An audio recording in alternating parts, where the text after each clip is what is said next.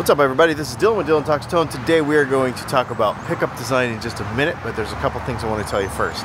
It is July 12th, 2021 as this video is coming out. It's Monday.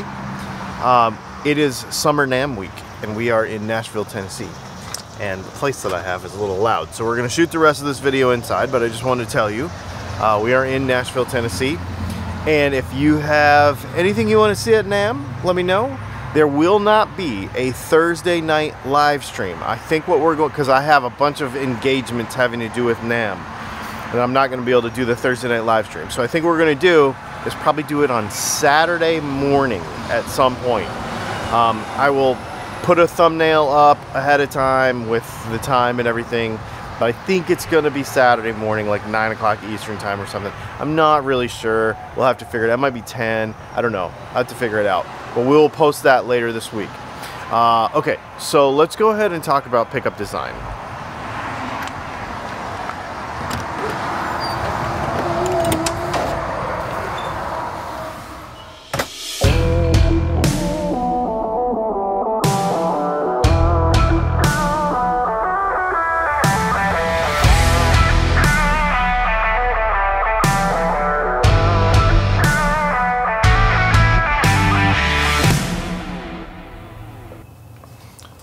So this, how do you design a pickup, is probably one of the most asked questions in the comments of our YouTube videos and in emails and all kinds of specific stuff like magnets and wire and how do you determine what that means. Um, what one you're going to use, how it's going to sound, where do you even start with all of this stuff. So since I've been doing a bunch of prototyping on the top secret project lately, I was thinking this would be a good time to do this because it's really fresh in my mind. There's two types of, in my, this for, for me anyway, there's two ways to go about designing a pickup. The first one would be uh, to literally design it completely from scratch and you're like coming up with a new shape and you're either 3D printing or laser cutting bobbins and stuff like that and really coming up with something completely out out of the ordinary but most of the time that doesn't happen because people want stuff that fits in the normal formats of their guitars. For the most part, we use existing magnet formats and bobbin formats and etc because you want it to fit into your guitar and you want it to fit into a lot of guitars. So most of that stuff has been standardized.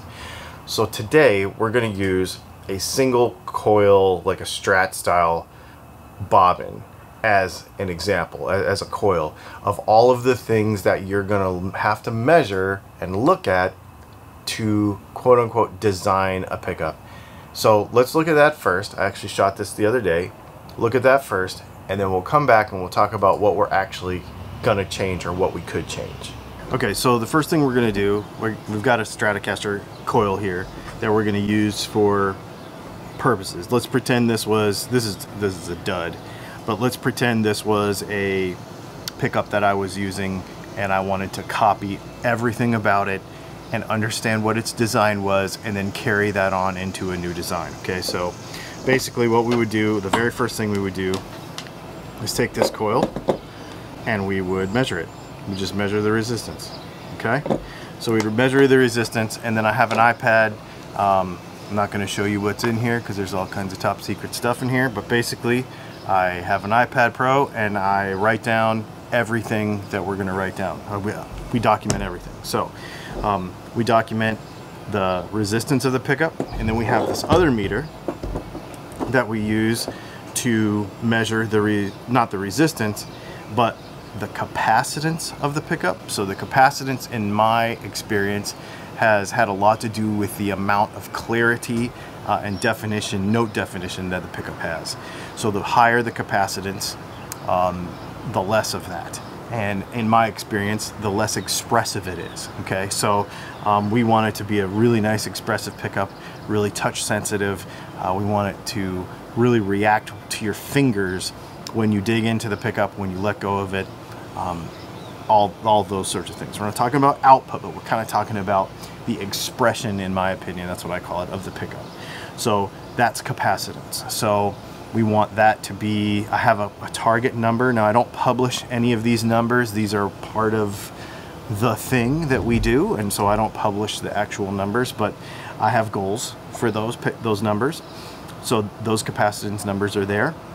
And then the next thing we would do is we would come over here and measure the mill the the henries, the millihenries of the pickup. So like for uh, which is the inductance. Um, the easiest way to understand what inductance does in a pickup is it's basically uh, so the long and the short of it is it's the efficiency of the coil to do its work when it's working. Um, that's the easiest kind of most elementary way to explain it. And so that it to me measures the true performance uh, of the pickup, not the resistance. The resistance just gives us an idea how much wire is on the coil. The inductance gives us an idea um, of the overall efficiency of the, the, the pickup, what it's going to do. Uh, and of course, that has a lot to do. Um, there's some factors that, that play into that. The magnets, once they're magnetized to strength, and if there is a plate on the bottom, like if it was a Telecaster pickup, for example, that would all play into it as well. So that number would change. When you put a plate on the bottom of a Telecaster pickup, that changes the amount of inductance that that pickup has. It actually raises it. So we have to have a fully assembled, fully magnetized, ready to go pickup to measure all these things. You can't just measure the bare inductance of a coil because it does all matter. So we've got our resistance, we've got our inductance, we've got our capacitance. Uh, now the next thing we need to do is I want to measure with a caliper. This is probably one of the most important in my mind the actual physical dimension of the coil. So the height of the coil, how long it is, and how wide it is, and we'll get to that in a minute, uh, is going to have more to do with the sound of this pickup than quibbling over materials and such. You know, a lot of people will say, well, it has to be this particular wire coating and it has to be this particular. Okay, it does for certain reasons that we'll get to in a minute. But let's talk about the physical measurements of the pickup first. So one of the things I will do is I will measure the entire height of the, I'll measure the, just the height of the coil. We also have to measure the thickness of the flatwork itself. And we'll get to why in a minute, okay? So we measure the thickness of the bottom flatwork. We measure the thickness without damaging the coil of the top of the flatwork. We document all of this. Usually it's 93 thousandths and 62 thousandths, but sometimes because of manufacturing differences, we, we measure that. And the reason we have to measure that is because we also want to measure and document for each string. So this is a staggered coil. We need to measure the height of each magnet. Now the problem is, is that if it's not stamped in here correctly, you can be off by a couple of thousandths. Fortunately, magnets for single coils come in predetermined lengths usually. So uh, 0.630 inches, 0.650 inches, 0.688 inches, 0.71 inches, etc. So we measure the height of each one of these, okay?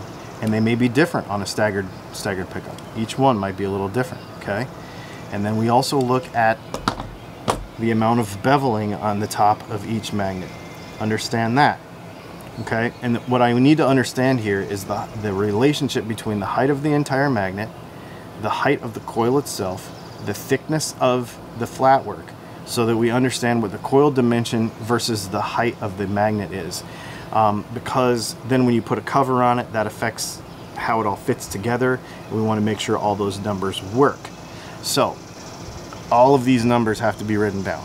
Every measurement, the thickness of the bottom, the thickness of the top, the height of the coil, the width of the coil, the width of the inside of the coil. So right like so, okay? The diameter of each magnet. So usually on a single coil it's either 1 187 or 195. These are 187s. So that has to be measured. Okay, so all the physical measurements of the pickup have to be taken. Um, now, uh, the next thing we need to do is we'll set all of that aside after we've written all this down and documented every number. Then we come over here to a Gauss meter. Gauss meter, Tesla meter, whatever you want to call it, and we measure the strength of each magnet. Oh, I never magnetized these because this was a dud prototype. But basically, we would measure the magnetism of each magnet. what's interesting about this is not only does the that tell me what gauge I can look at the the numbers on this meter and tell if it's an Alnico 3 or an Alnico 5 because you can't tell that by looking at it. Is it an Alnico 2, Alnico 3, Alnico 5? Those typically have different Gauss ranges that they can that they can work in or that they can be magnetized to.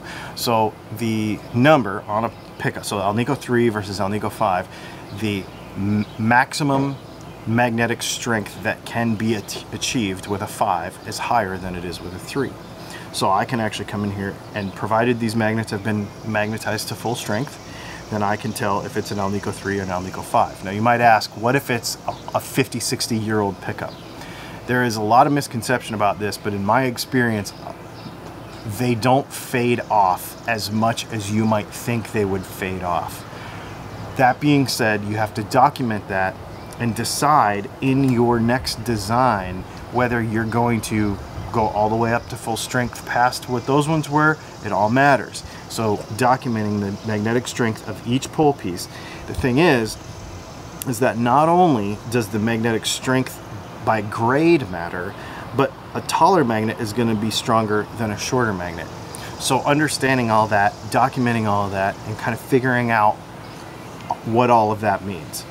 So now we've documented the physical size of the coil, we've documented the physical size of everything, we've documented all the electrical measurements, we've documented the uh, magnetic Gauss. So now let's talk about actually designing a, something new. What are we going to change? What are we going to copy? What are we going to do? And how are we going to figure it out? Crazy, right? It's a bunch of details. Um, it's just a lot of measuring and a lot of documenting. So then the next step would be to decide what the goal for the new pickup is going to be.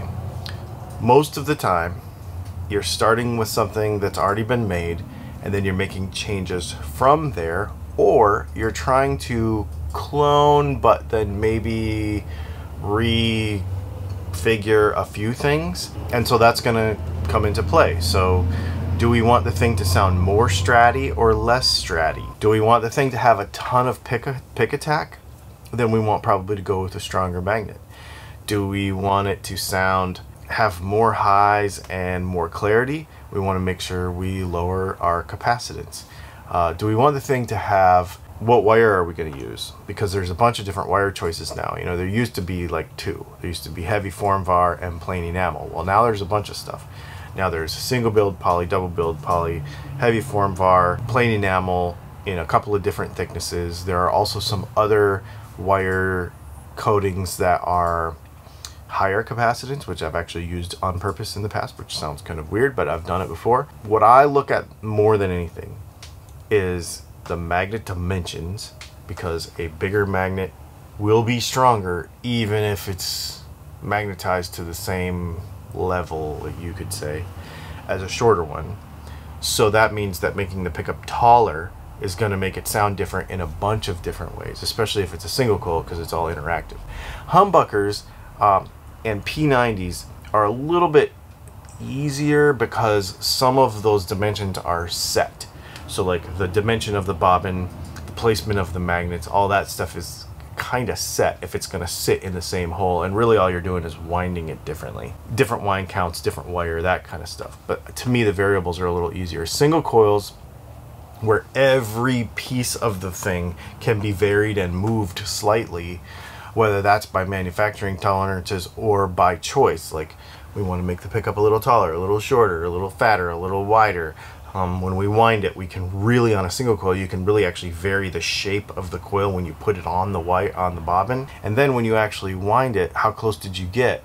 Was your wire tension okay? Was your was your placement of the wire okay? Was your winds per layer? So like every time you move back and forth, the amount of scatter, all that stuff, that all matters. It's like everything is a variable. So then you make one and then you make another one and hopefully the other one the second one and the third one and the fifth one and the hundredth one are all the same or relatively similar as the first one you made. Now hand winding pickups everything's going to be a little different. They're all they're always going to be a tiny tiny bit different but you want to be consistent enough to be consistent across your brand, right? Like you want to have these, like we have in, in at Dylan Talks Tone, we have a few variables that I'm very concerned with. I want it to be have good clarity on top. I want it to have good note definition and touch sensitivity. That is like across my entire brand, every pickup we make. So I want to make sure that those things are present in that pickup because that's part of what we do. That's like what I'm really proud of. So I want to make sure that they do that. If it doesn't do that, we got to go back and figure out why. So sometimes you get it right by accident on the first try. Other times it's literally taking every one of those measurements I showed you again and then going, okay, what did we change? Why don't we like it? What if we change these two variables, these two sizes, these this strength, whatever, these, and then you don't change too much stuff at once. You got to change a couple things. It's like tuning a hot rod. If you tune everything, you tune it to a standstill, and you and you screw it up. So you got to do one thing at a time. So you end up doing pickups five, six, seven times over again, like, and putting them in the guitar. This is a lot of work. Designing stuff is really fun, but it's a lot of work and it's a lot of measurements. It's less playing and more literally like doing research. And a lot of times researching other pickups, researching other materials you haven't used to reach a certain goal, all those sorts of things. The thing about what we do is I'm not afraid to use anything we don't stick to this is how it has to be since 19 whatever. We use whatever we can to get the goal. I don't care. That's why dylan talks tone um, our kind of our slogan is the new vintage because we want to get those sounds but i don't care how i get them i don't as long as they're the sounds we want it doesn't matter. If it sounds good i don't care how i got there. And we will use revolutionary new stuff or maybe we'll use the same old stuff. I don't know. Uh, hopefully you dug that kind of like super nerdy uh, diving into how we design pickups. At least around here, it works for us. It's worked for a, a, bunch of years. That's how, how we do it. And so I just wanted to share that with you. I know that somebody else is going to make a video and say they do it completely differently, but I kind of have this process that has worked for us very well. So I uh, hope you dig it. Make sure you check out our other videos. Um, again, at the beginning of this video, we said that this week was NAMM 2021, Summer NAMM. We will not have our live stream on Thursday. We'll probably have it on Saturday, I think. I will post all about that. Uh, we got a couple of new shirts in the merch store on Dylan Talks Tone. Make sure you check those out. That's all I got. Make sure you like and subscribe and hit the little bell and do all the things. Thanks for hanging out, and we'll see you, I guess, tomorrow for the news.